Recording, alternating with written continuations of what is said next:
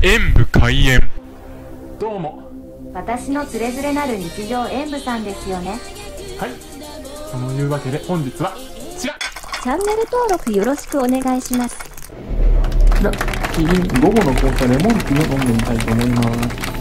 僕一番好きなのはミルクティーなんですけどレモンティーも好きなんですよ。ねではあれ前も飲んだかなこれ。まあいっかでは飲んでみます